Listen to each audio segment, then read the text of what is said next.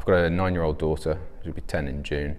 Um, so just basic day to day, I wasn't able to take her to school in the mornings. So it's always been my wife who's had to do that. Um, you know, I couldn't even get in on the road until kind of 10, 11 o'clock. You know, so I had to kind of really adapt to the day-to-day life. Um, there were days where you know I hadn't been able to get out of bed, um, which you know when you've got children, that's not a great thing, right? And uh, you know you want to be able to do stuff with them.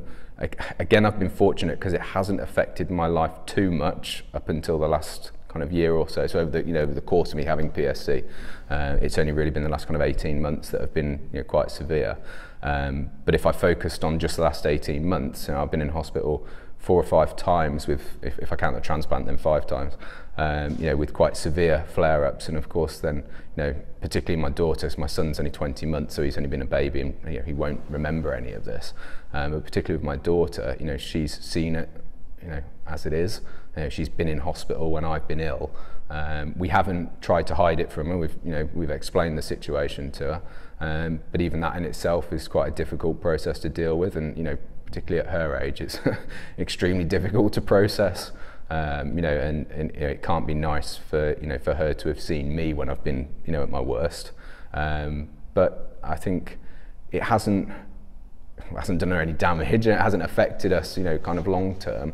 You know, we've tried to just maintain that, you know, we've been open, really transparent with her as to, you know, whether I'm well or whether I'm not well, and if I'm not well, what has to happen.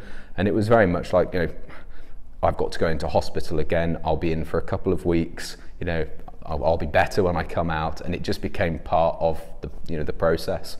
Um, with the transplant, um, we we you know kind of explained it as a positive.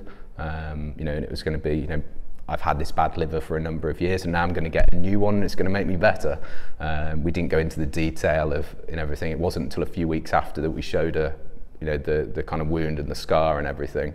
I waited till the staples are out and it all looked a little bit, a little bit better before we showed it to. Um, but yeah, um, she understands it and, uh, you know, it's been fine. But I think certainly the recovery period after the transplant, you know, I, I couldn't pick Jude up as my son, you know, I, I literally couldn't do anything. So that was, you know, quite a difficult time as well because he'd come up to me um, and I, I, I was kind of like backing off because I couldn't have him kind of grabbing me or, you know, anything like that. So yeah, it was it was difficult, but again, you, you manage it and you just got to get through it.